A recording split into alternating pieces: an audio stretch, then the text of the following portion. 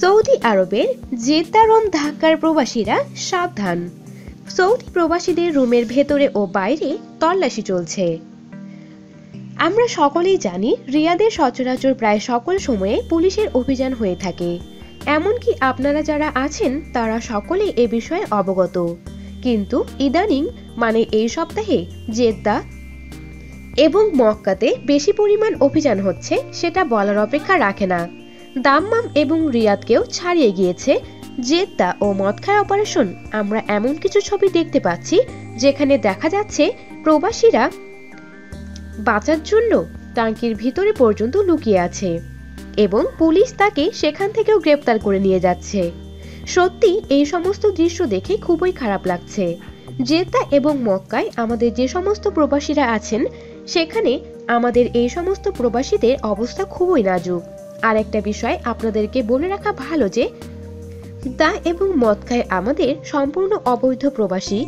বেশি কি জন্য বলছি? আমাদের যে সমস্ত প্রবাসীরা হজ অকরতে এসে সৌদি আরবে থেকে যায়, তাদের বেশিরভাগই মক্কা ও জেদ্দায় সেটেল হয়ে যায়। আর এ কারণে সৌদি আরবের প্রশাসন এবার উঠে পড়ে লেগেছে। কীভাবে এই সমস্ত প্রবাসীদেরকে আটক করা যায়? একদিকে এরিয়াতে যেমন স্পেশাল প্রবাসীদেরকে আটক করা হচ্ছে, অন্যদিকে জেদ্দা এবং মক্কায় ডকুমেন্টি প্রবাসী যারা কিনা ওমরা ও হজ করতে এসে সৌদিতে সেটেল হয়ে গিয়েছে, তাদেরকেও বের করার জন্য চেষ্টা চালাচ্ছে। সামাজিক মাধ্যমে আমরা বেশ কিছু ভিডিও দেখতে পাচ্ছি, যেগুলো দেখে আমরা সত্যি খুবই মর্মাহত। প্রবাসী ভাইয়েরা, আপনারা যারা জেদ্দা এবং মক্কার আশেপাশেই বসবাস করছেন, আপনাদের উদ্দেশ্যে বলতে চাই, পরিস্থিতি এখন আমাদের আউট অফ কন্ট্রোলে আপনাদের এই সাবধান থাকতে হবে। কোনো ক্রমে বাইরে বের হবেন না।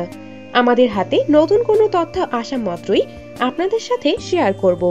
সে পর্যন্ত যত কষ্টই হোক, আপনারা বাইরে বের হবেন না।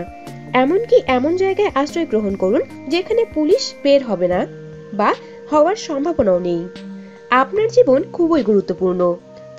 পুলিশের হাতে আটক হওয়া যাবে না। বিষয়টা সবসময় মাথায় রাখবেন।